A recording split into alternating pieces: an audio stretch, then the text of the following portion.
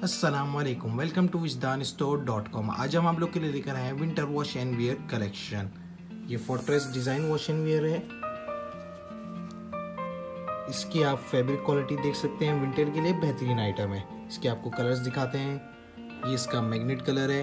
ये इसका army green colour है। ये इसका खाकी कलर है। ये इसका चॉकलेट कलर है। और ये इसका ऑलिव कलर है। और ये एक ब्राउन्स कलर है, इसके अंदर और भी कलर मिल जाएँगे आपको। डीप ब्लू कलर भी है इसके अंदर, वो भी आपको दिखाते हैं। ये इसका डीप ब्लू कलर है। आप देख सकते हैं क्वालिटी, विंटर के लिए बेहतरीन चीज़ है।